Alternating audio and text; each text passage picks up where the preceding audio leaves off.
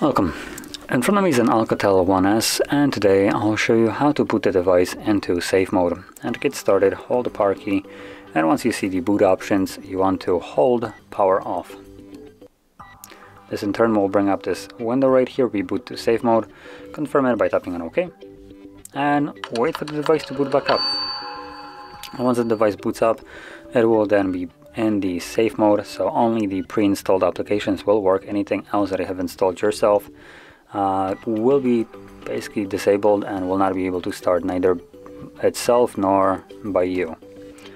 And this mode is specifically used for troubleshooting your device, so if you have some kind of problem with it, uh, you can put it into safe mode and see if the problem still persists in there. And if it does, then you probably have a clear indication that something is wrong with your device rather than something that has been done to the software itself.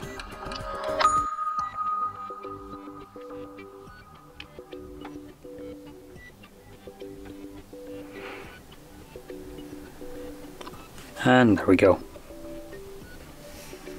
So you can see we have this watermark right here, safe mode. And this will basically stay here as long as you are in this mode and it looks like there's a couple of applications even from Google that are not working.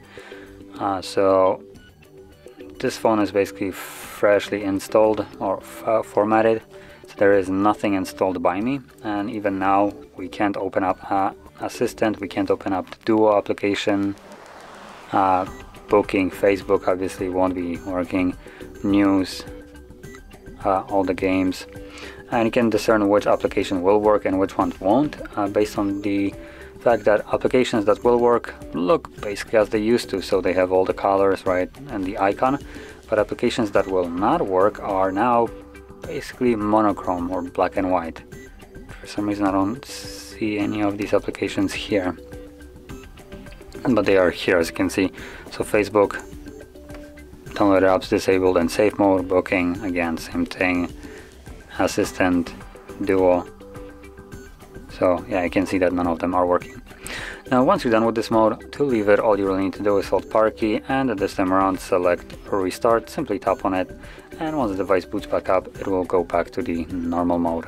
Now that being said if you found this video helpful don't forget to hit like subscribe and thanks for watching